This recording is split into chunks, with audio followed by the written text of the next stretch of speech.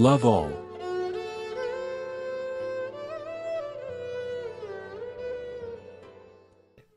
Love all. Be pure. Serve all with Atma Bhava. Have perfect control over your senses. Rely on your own self. Aspire ceaselessly for the grace of God.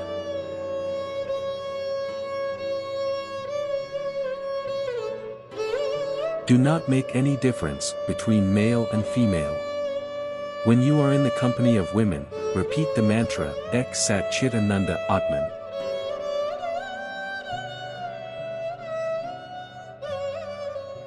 The same Atman which is in your heart prevails in all the bodies of women.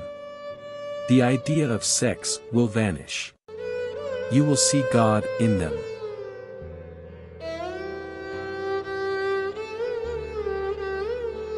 Feel that Lord Krishna works through all hands, sees through all eyes, hears through all ears. Sing like Radha. Thirst like gopis for his vision.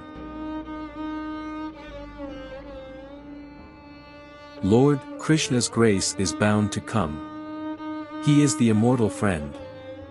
Never forget this. You will realize him. Swami Sivananda